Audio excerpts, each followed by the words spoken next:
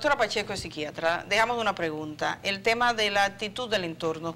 Una niña hostigada que hasta la golpeó. Hija mía, por ejemplo, la golpea.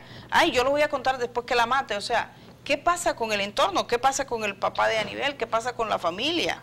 ¿Qué pasa que las mujeres y las niñas ya comienzan a estar solas? Nosotros siempre insistimos con las familias que cuando llega a la denuncia en la fiscalía, muchas veces ya es tarde.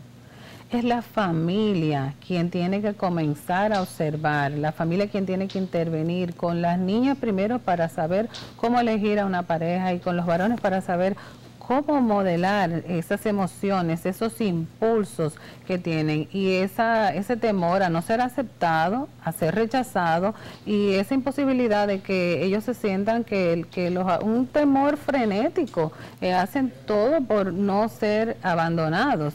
Entonces hemos visto casos, en, eh, nosotros vimos un caso muy bonito de unas madres, ellos, sus hijos jóvenes, eh, estaban casados, ya tenían un niño, y ellas notaron que hubo una primera agresión por parte del muchacho hacia la muchacha porque ella se fue a una discoteca, por, por lo que sea, que eso no justifica. Días pasado escuché un alto funcionario diciendo, no, pero es que, es que ahora las muchachas eh, salen mucho y, es que ahora hay mucho eh, mucha infidelidad. Eso no se justifica, no, no justifica. Si no, la, mayoría de ellos estuvieran muertos. Si tú entiendes que tu pareja no está haciendo, no está correspondiendo, no está comprometida con la relación, pues es momento de sentarte, de hablar y si crees que no puedes recibirlo, pues entonces separarte. Pero mire, estas madres eh, observaron que sus hijos habían tenido una primera eh, pelea en público, que fue una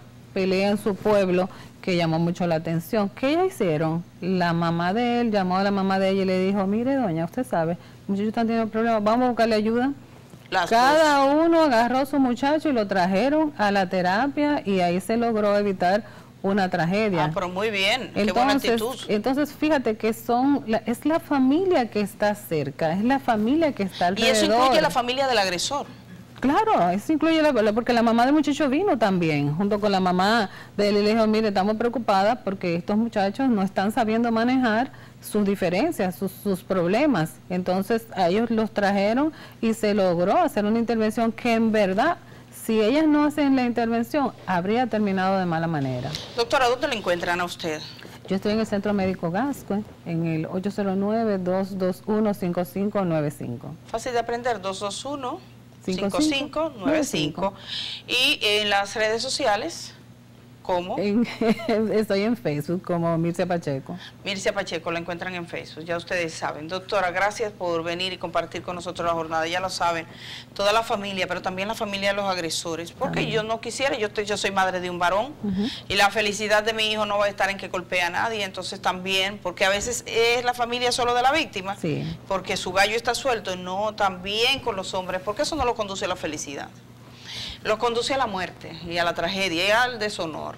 Gracias a la doctora Mircia Pacheco, gracias a la directora de Proconsumidor, seguiremos pendientes de lo del Seibo y aquí nos encontramos mañana. Por supuesto, gracias a ustedes.